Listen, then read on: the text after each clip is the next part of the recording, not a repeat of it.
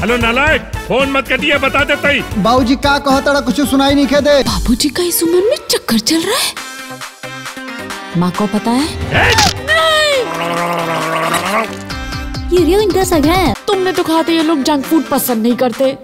देखते ही भाग जाएँगे। वो देखते ही देखते सारा खा गए।